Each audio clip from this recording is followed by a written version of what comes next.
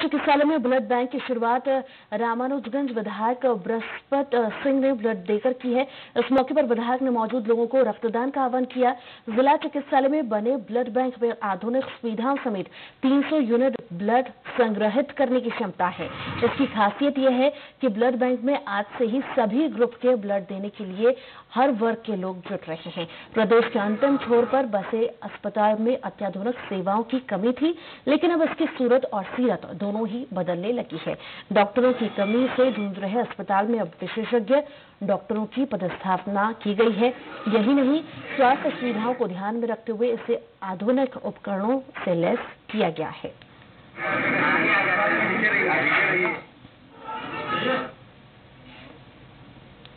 गरियाबंद ज़िले